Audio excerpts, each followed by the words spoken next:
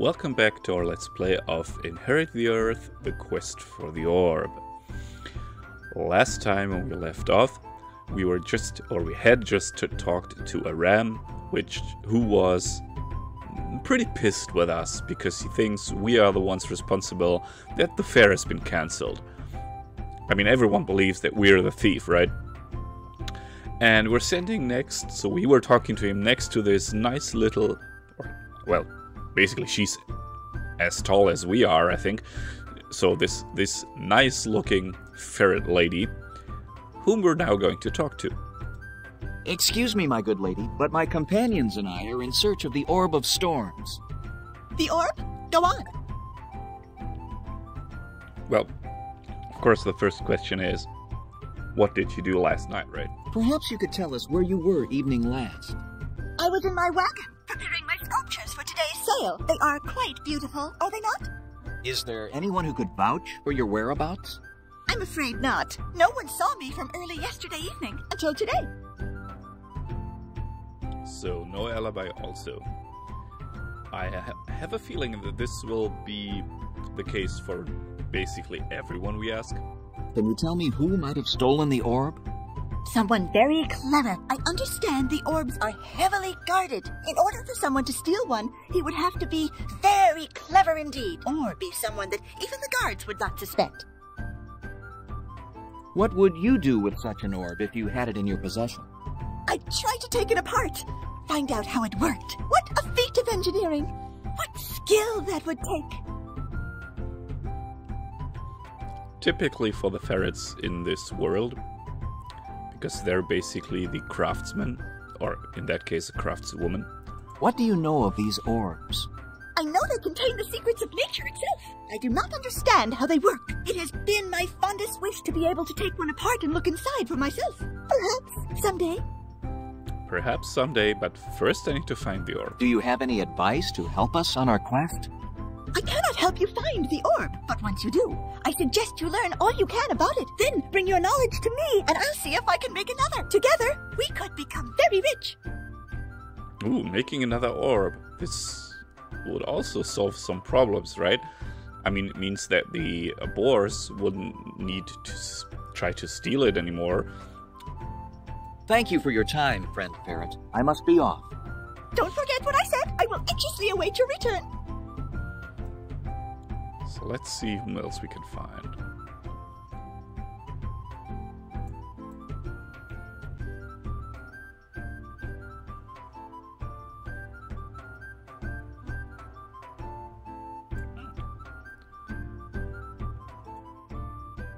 Excuse me, my good woman, but could I trouble you long enough to ask you a few questions?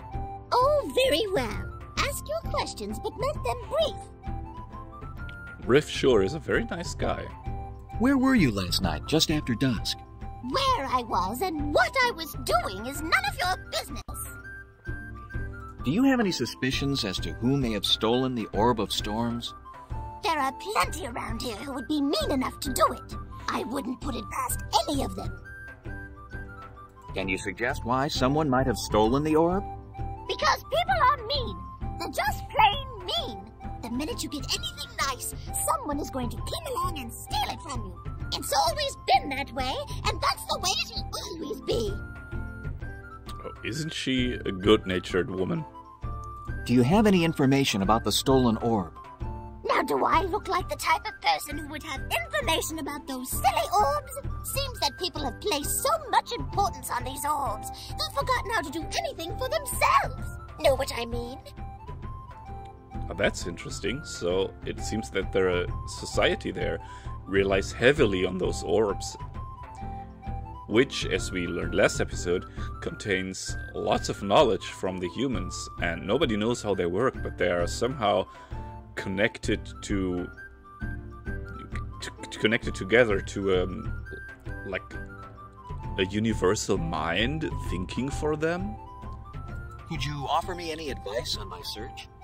The only advice I have is not to take any advice from anybody. They don't know what they're talking about. They'll just try to steal from you, or cheat you, or get whatever you've got. People are like that. Yes, ma'am. Well, I must be off. Thank you so much for your time and wisdom, my good woman. It has truly been a pleasure talking to you. Well, uh, thank you, young man. It was nice to talk to you, too. Such a polite young man. Good luck to you and your companions. Just you be careful. There's so much meanness out there, you know. Yes, ma'am. Fare you well. Indeed, Riff is a very nice young man. Very polite. What is here? Oh, look. A money changer. Let's see what they have to say. Good day to you. Friend Mole, I was wondering. If I can exchange your currency, what would be your pleasure? We have very little money. Can you help us? That depends on what you have of value.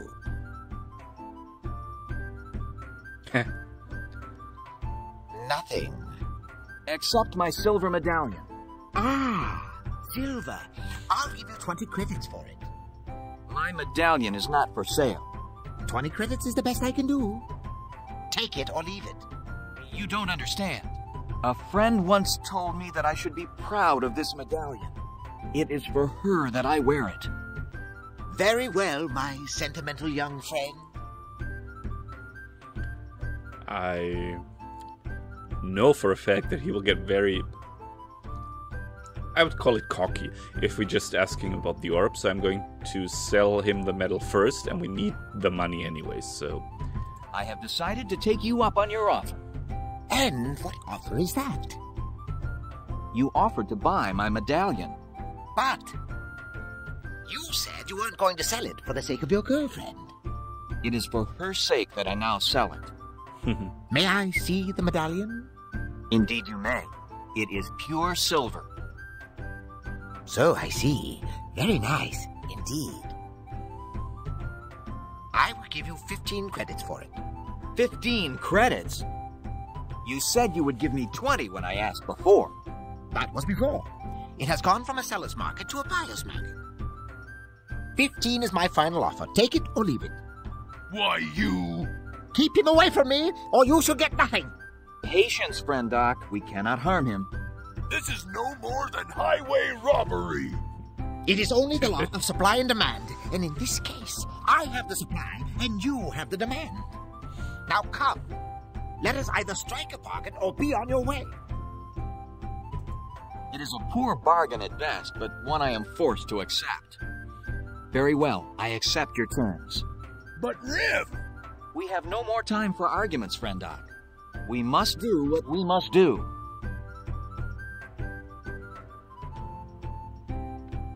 There you are, young fox. Count it if you wish. Do come again, won't you? I look forward to our next transaction. So now I'm curious if he would be more helpful talking about the orb. I doubt it because I doubt that they recorded two different lines for the conversations. We are seeking information. We are investigating the disappearance of the Orb of Storms. So, you are the ones who have ruined the fair. Be gone. I have nothing to say to you. Then you have no knowledge of the Orb's disappearance? I have no knowledge of anything. Now leave me alone. Have you noticed any large amounts of money changing hands of late?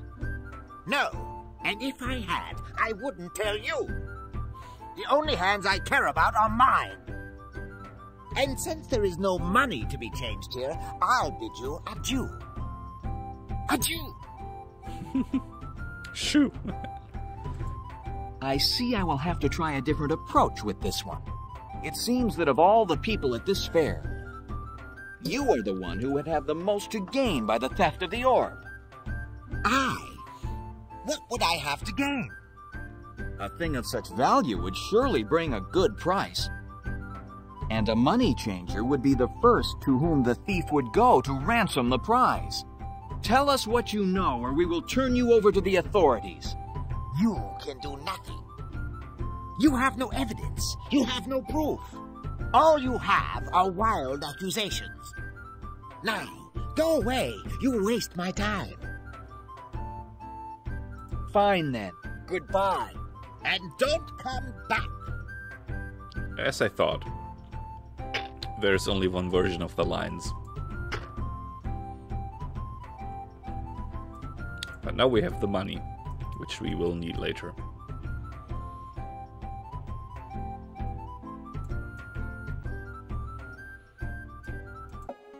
Whoops. So this is the overall map screen, which we use to switch places or, well, fast fa- fast travel. I need to check where I make the air quotation marks so you can actually see them. Um, so this is the, the fair fairground where we started. This is uh, the ferrets village. This here is the sanctuary of the orb. I, I say we go there next. Then on, up on the hill there's a little house.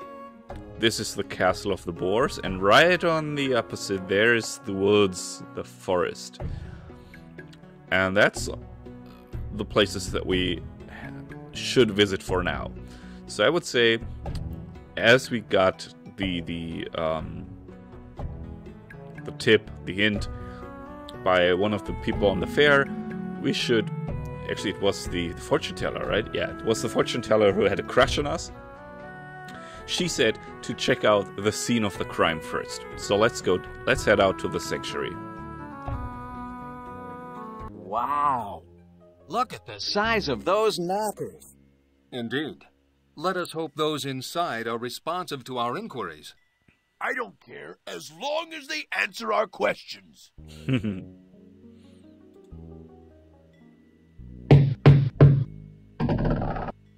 Okk, being the strongest, executes the order of knocking. So yeah, as it is with the verb interface, um, this one responds to a right click by um, executing the highlighted verb, which is, which is what you actually want to do. So it's simply a left click, right click thing. Where is my cup? Has anyone seen my cup? Okay, so there is a bunny looking for their cup. I know that this is one of the harder things because um, you can find the cup, which is easy. But there are lots of bunnies here and all look the same. So let me just check out. Here is the cup. Be careful, Riff. Overlook nothing. That was our friend Okk. It's interesting how quickly he calls him friend when all he did was threaten. It looks like an ordinary cup. Then let's pick it up. So I'm going to hold on to it for now. It's locked. Okay, so we can't go in there.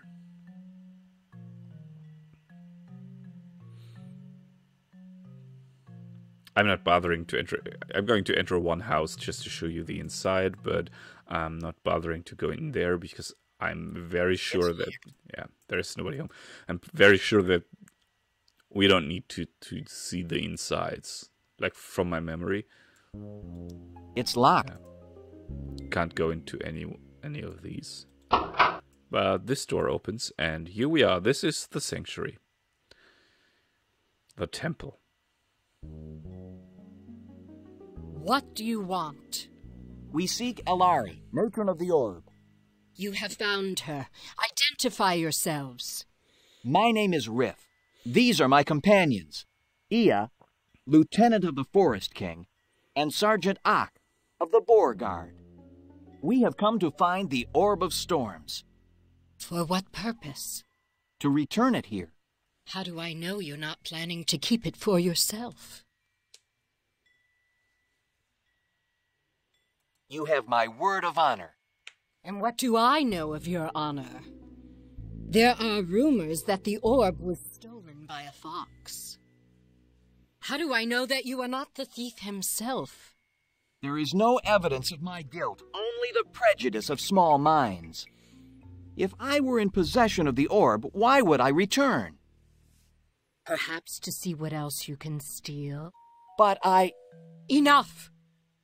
The Orb of Storms was in my care, and now it is gone.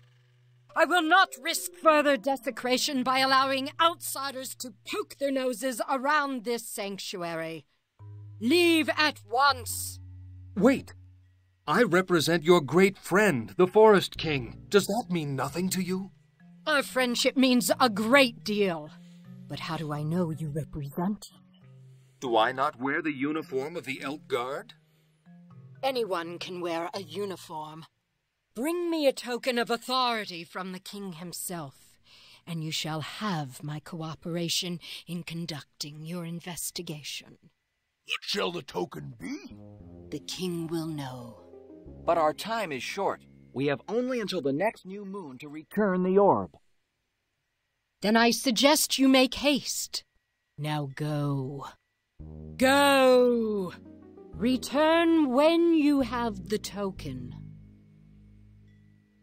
Okay, so while this cat is um it's it's annoying that we have to first get that stuff for her, but on the other hand, it is pretty sensible how she reacts. I mean, she how does she know that she can trust us, right? So let's just get the token. To the forest. My good friends,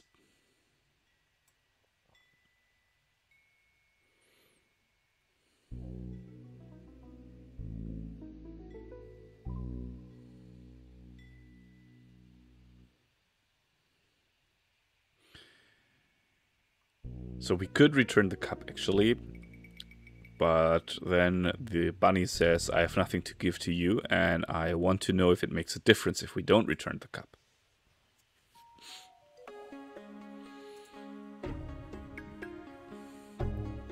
Well, there's also the mine where the rats live. I forgot to mention that earlier. Ah, home at last. Every time I stand at this hallowed gate, I am in awe of what lies within. Trees, flowers, streams, fish, an abundance of food. What more could anyone ask? Mine! Of course! The writ of authority will suffice for me. Again, as I said before in the last episode, I really love the sceneries that they painted in with the pixel graphics.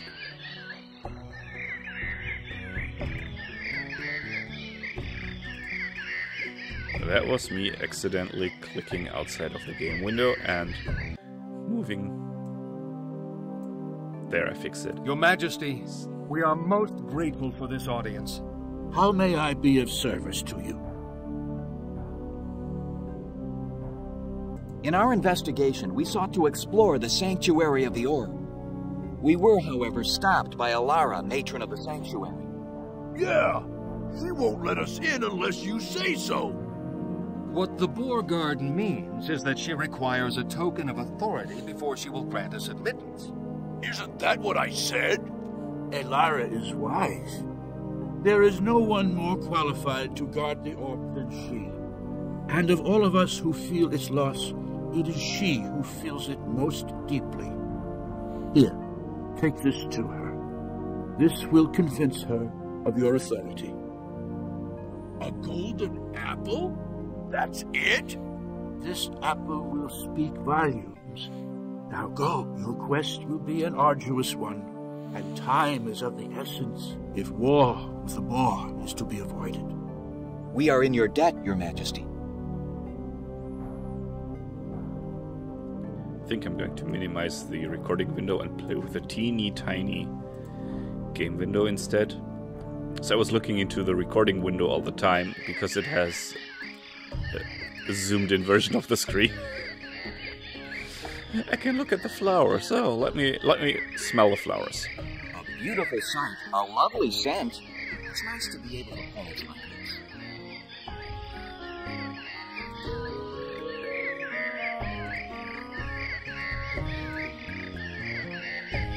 There it is, walk to path. So let's bring the token to her. Just forgot one.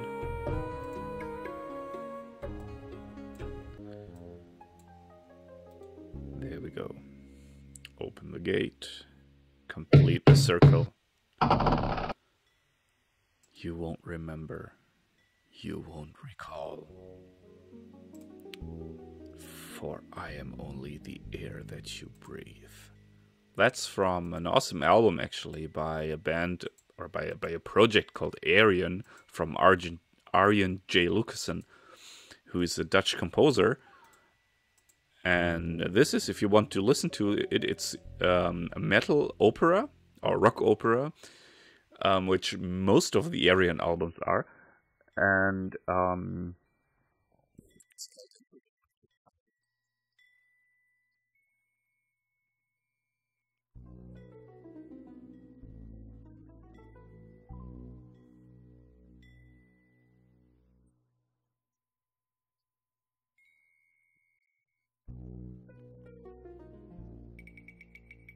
The Forest King sends his respects and bids us give you this golden apple as a token of authority. He said that it would have meaning for you. Indeed it does. This apple is a souvenir of a quest he went on for his king when he was but a young soldier. He was as noble a warrior as he is a king. Then you will permit us access to the sanctuary so that we may investigate the stolen orb? You may search to your heart's content. I shall open the gates. Good fortune be with you. Thank you, mistress.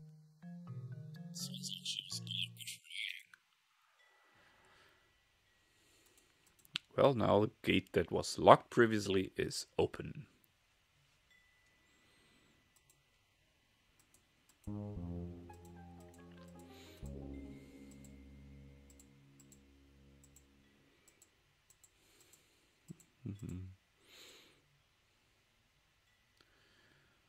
Think it was that way.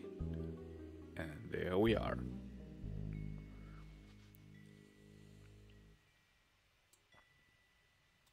It appears to be a water fountain. Cute little water fountain. Let's see. So this looks like it's like a garden of sorts.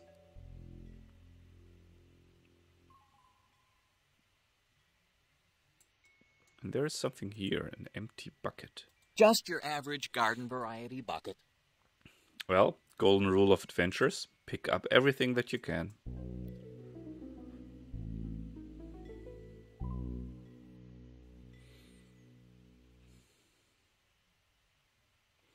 Even more garden. I need to get used to talking a lot, especially in English while playing. This will take this will take me a few episodes, I think. Also, I kind of don't want to ruin this um, atmosphere that this that the soundscape creates. Wait! What? It's a footprint. Do you recognize it, Eeah? It doesn't look familiar, but tracking was never my strong point. Perhaps we can find someone who can identify it. We'll have to bring him here. We certainly cannot move the mud. What should we do? We cannot move the mud. We have to bring someone here. Well, could you go out of the way? There was something else. Sour berries. I've never seen berries like this before. I wonder where they came from. We haven't seen them before, yet we know that they're called sour berries. And again, I need to walk away so I can actually pick them up. Pick up sour berries. I misclicked. These might be a valuable clue. So let's take some more looks around.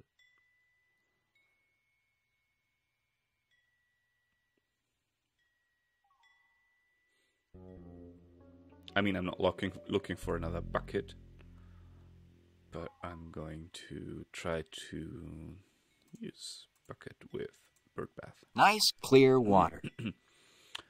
So the bird bath has so much water that it fills an entire bucket. Yep.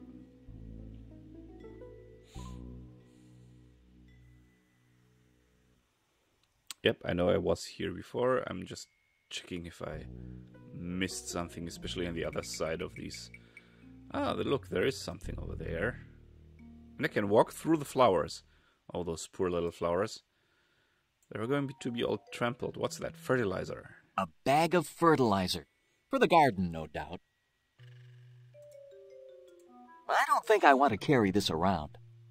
Let's use the cup. Sorry, it's empty. The fertilizer? I, I, I didn't want to pour the cup into the bag. I wanted to fill the cup with, uh, well, Well, I dumped the water out, but it doesn't seem to have done much good. Not even to the fertilizer. Well, okay. I'm going to refill the bucket because I know that I need it filled with water.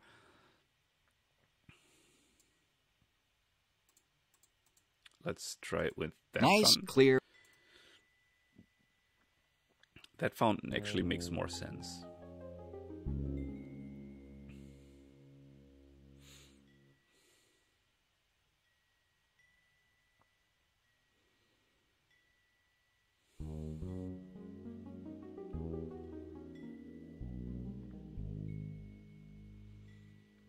Okay, let's check out the next place.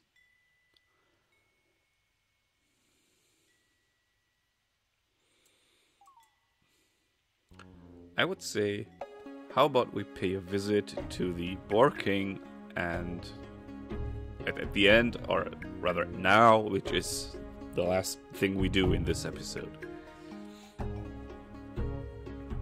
This strikes me as being most unwise. Walking into the enemy camp and risking capture ourselves is the last thing we need. But information is the first thing we need, and this may be our only way to obtain it. I still think this is pure folly. Perhaps the elk is right. We should not disturb the Boar King. He will be very angry. Really, Okk? Surely you have nothing to fear. You are an honored Boar warrior, specially chosen for this mission by the captain of the Boar Guard. I should think you'd be expecting a hero's welcome. Bah, this assignment is not an honor. It is a punishment. What? A punishment? What was your offense? I was on guard duty. A great celebration was going on inside. And a fellow guard managed to slip me a tankard of ale. Then another, and another. The next thing I remember, the captain of the guard was throwing a bucket of water in my face. You got drunk and fell asleep on guard duty? It happened over a year ago. Since then, whenever a disagreeable task comes along, it's given to me. Then we will see to it that the success of this quest restores your honor. Sorry, I just had to run and take some nose spray because my nose was clogging up. I really don't want to go in there, but I suppose I'll have to. So we now have found out that Okk is actually not. Well, we know that he's not there out of his own volition, but we also found out that it's basically a punishment for him, that it's a shame that he has to do this task.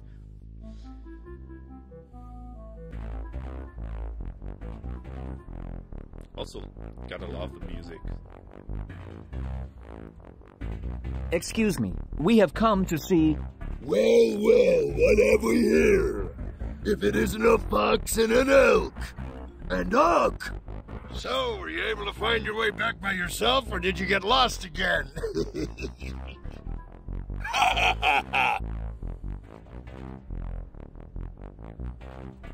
Oh, please, Sergeant Okk, have mercy on me. Please don't make me go in front of the Boar King and plead my case. but Please, don't make me go into his throne room. You are so strong and I am so weak. As much as I fear you, I fear the Boar King even more. Have mercy. what are you. Please, Sergeant Okk, do not drive us so hard. We have been walking many days to get here and are fatigued beyond words. We cannot keep up with you. Please, we must rest. Rest? You want rest? I have no time for rest. You, Fox, get to the throne room.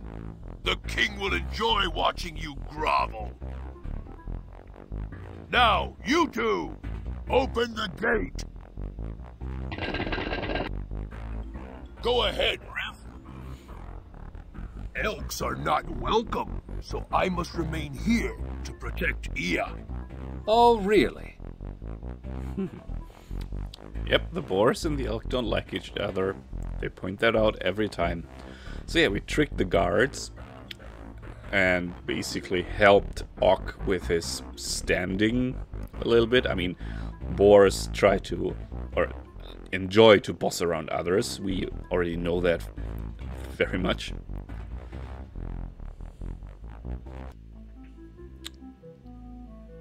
And now as the diskette blinks, this is, is a sign like you have reached a checkpoint and you should just save your game. I'm going to do that after I visited the king. So basically in this game you can't lose.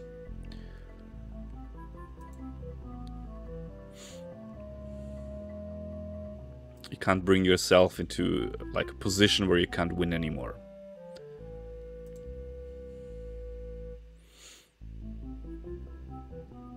Hmm, come on. Your Majesty, presenting Rif of the Fox tribe. Your Majesty, I have been falsely accused of the theft of the... I know who you are, Rif of the Fox tribe. Please, I like to be addressed face to face. Thank you, Your Majesty. I have come to ask your indulgence. I said I like to be addressed face to face. You may address me here. But, Your Majesty, Address me here or leave. Those are your choices, Fox. Yeah, the king wants us to go into the mud bath. I think it is because he knows that everyone except Boris l- hate the mud. Um, I mean, Rif could have played the card something like, uh, you really want me to desecrate your royal mud bath or something like that, but yeah, well. Your Majesty, I am deeply grateful for this audience. I believe you are holding my friend Rhene hostage. And I have come to ask you for her release. Hostage? We don't have any hostages here. We do, however, have a quite charming guest. Captain. Rif! Rhene? Rhene! Be careful! Don't let them hurt you! Don't worry. I'll be back. I'll get you out. Rhene, Rhene, I'll be back. I will see that she is kept safe until either you fail or you do not return. Then I give you my word that she will suffer mightily. Now go! You have ceased to amuse me. Leave while you still have your life. But I will return to claim both my friend and my honor. And now I'm walking. Well, why aren't you leaving? Oh, uh, I am.